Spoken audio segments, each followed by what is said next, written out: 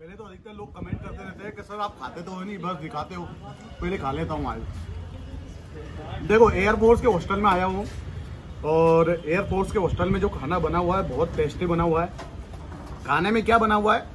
जो कटल होती है, जो कि किन, जो शुद्ध शाकाहारी लोग होते हैं ना, पंडित लोग, उनका ये माना जाता है चिकन पंडित बोल रहा हूँ, गलत, माफ़ी चाहता हूँ, अगर पंडित लोगों को बुरा लगे तो।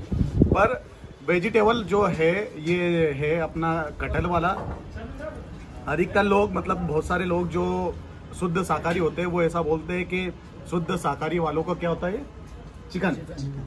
चिकन। तो तीन प्रकार की सब्ज़ी बनी हुई है। दो प्रकार की सब्ज़ी है एक प्रकार की दाल है। कैसा लग रहा बेटा खाना? और कौन सी क्लास की तैयारी कर रहे हो आप? इलेवन ट्वेल्थ एनडीए की। क्या नाम है आपका? Sir Jayant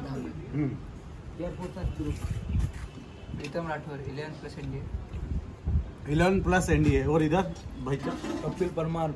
वे मेरे नाम नाम. मेरे नाम राशि का मिल गया एक और कपिल परमार। तो कपिल चावल ही खाता है बस? सर खा लिया ना खाना? रोटी खा ली पहले? ही? रोटी खा ली सर। अच्छा इधर एक और जाट खड़ा है देखो इधर जाट को ज़रूर दिखा भैया जाट ज़रूरी है दिखना। बोल जाट क्या है? सर। कैसा क्या माहौल है क्या कर रहा है ये तो बता दे लोगों को।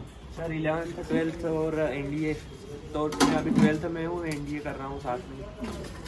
क्लास कहाँ तुम्हारी? मेरी क्लास सामने। वो हॉस्टल? हॉस्टल ये सामने सामने एकदम। मतलब कहीं ज़्यादा दूर जाने की ज़रूरत नहीं है? हाँ। तो वही बताना चाहते हैं अगर आप भी तैयारी करना चाहते हैं घी लगा खाता रहे? तो जाट लोग बड़े चतुर होते हैं यार। नहीं मैं तो बिना घी के ही खाता हूँ।